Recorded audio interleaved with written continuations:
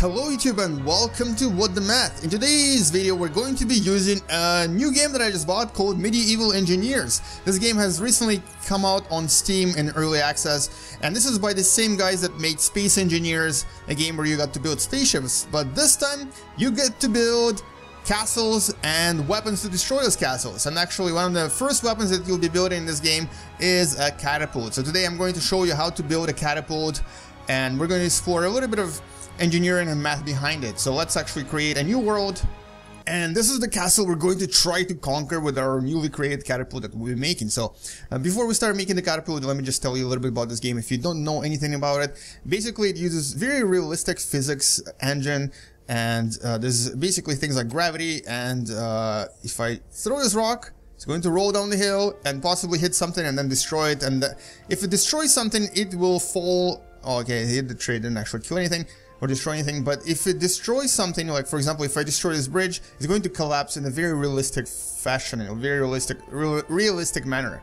Anyway, so let's actually start with the cap catapult.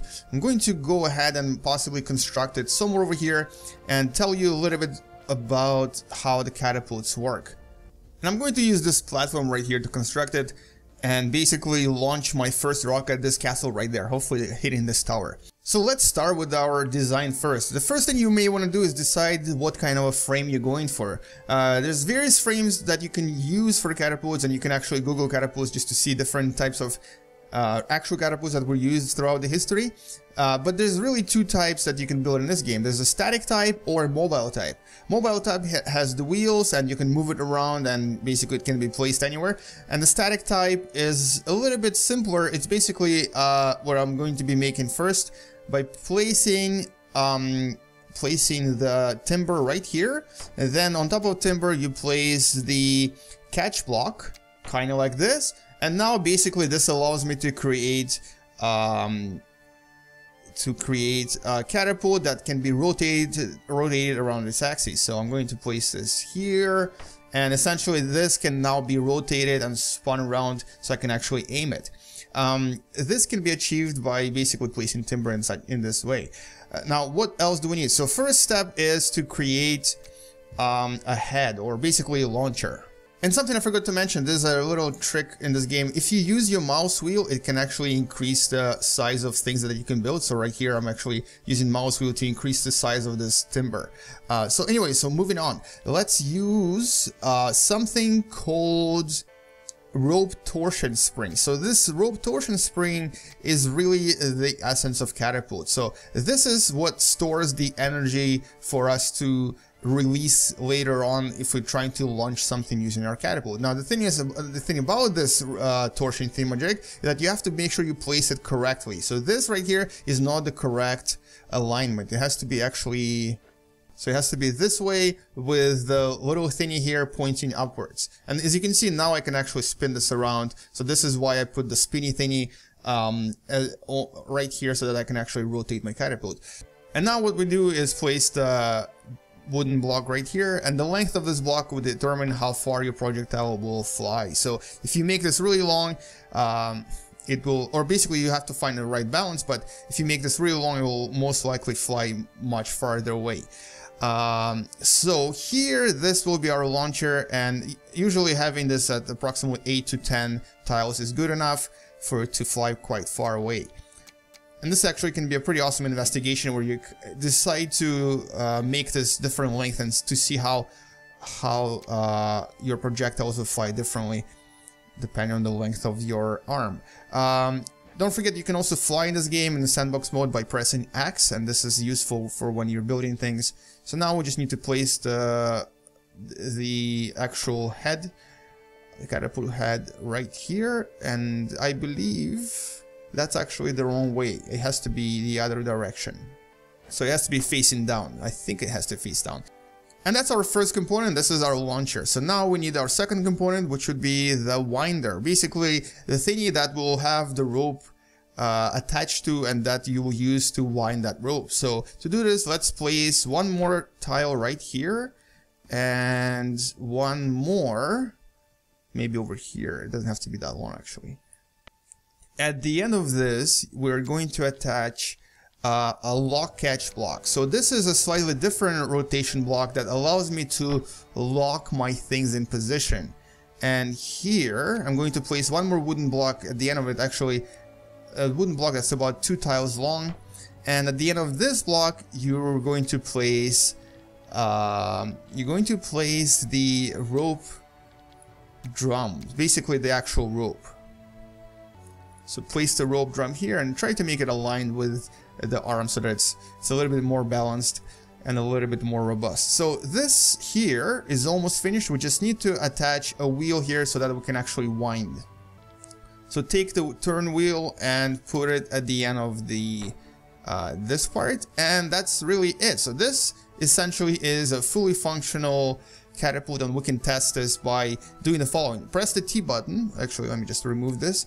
Press the T button to attach the rope and then, oh, I forgot one part. I forgot to actually, I forgot to attach the, uh, uh, this. I forgot to put rope ending. Rope ending is basically where you attach a rope and this is, this goes onto your, um, your catapult head. So now we do this. We uh, click T here and then click T right here to attach the rope and this creates a catapult. So what do you do next is you wind the catapult or you wind the wheel by pressing T. If it doesn't work, it's because you're spinning it the wrong way.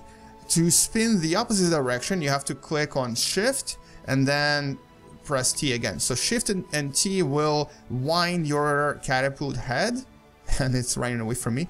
Uh, it, it will wind it and you can then use it to launch projectiles. Now it doesn't actually go very far, it, it kind of stops here, but you can uh, change this by adjusting the angle of this particular piece uh, later on. If you actually go in for a different design, you can make this go even lower. And now this is almost finished. Now there's one thing missing and I'll show you what's missing in a second uh, when I show you why we need one more, one more piece for this catapult. So here, if I place my projectile And if I then try to align this with the tower or with my castle, so that looks pretty aligned, so you'll see what the problem is. Uh, to release the actual projectile, you press T here, cut the rope, and... Alright, so it hit something, it flew somewhere over there, but here's the problem. It actually does not fly very far because this stops in, in this position. So we need to make another part here. We need to actually attach something called a stopper. And this, if you ever look at the old pictures of old catapults, they all had the stopper at a specific angle. Actually, um, I'll show you what I mean by this when I rewind this and I'll show you what this stopper does. A stopper is really simply a thingy that stops your arm from going too far. Why? Well, if it goes too far, you'll be basically launching your projectile downwards. So you, you'll be hitting the ground in front of you. Uh, if, however, you have something to stop it from going too far, like for example, if you place it so that uh, this arm part stops at 45 degree angle or closer to 45 degree, you will then be launching your projectiles much, much, much farther away. Now, you need to make sure that you place this uh, alongside this this bar here so that actually they hit each other because otherwise it'll, it'll go through it. Uh, there's a slight bug in the game where it actually sometimes goes through goes through your stopper and doesn't actually stop at all. So let's try, let's try this again. So I'm gonna place my projectile and fire at will and there you go. It just hit the roof again and as you can see it stopped right here. So this is as close to an actual catapult as possible. Now there's really one part missing and that's the wheels. And if you want to attach the wheels all you do is you go in here and you look for the wheels. And all you do now is basically attach the wheel and ta-da! So this you need to attach three more and you get a functional moving uh, catapult that you can move around and shoot things with. Um, I do prefer to have uh, static uh, devices at first because I just like to experiment with various angles and various um, length of my arm. But this is really it. This is how you make a really simple catapult that can launch projectiles and make holes in roofs. Oh yeah, look at that. I made a few holes here. Um, and that's that's it so i'm going to pause this here and in the next video we're going to take a look at a few more devices such as uh, for example trebuchet which is another excellent launching uh, device of death that they've used in the medieval ages to break into castles And that's really it. That's how you make a catapult. So there's really three parts that you need with optional fourth part being the wheels. But the first part is right here and this is called um, this is the part right here called rope torsion spring. So this provides torsion and stores energy for the arm. Uh, then you have this winding mechanism with the rope at the end. And finally you have the stopper, which is uh, to prevent your projectile from going downwards. And that's really it. This is how you make a simple catapult with in Medieval Engineers. Thank you for watching. Please subscribe and game you later. Bye bye.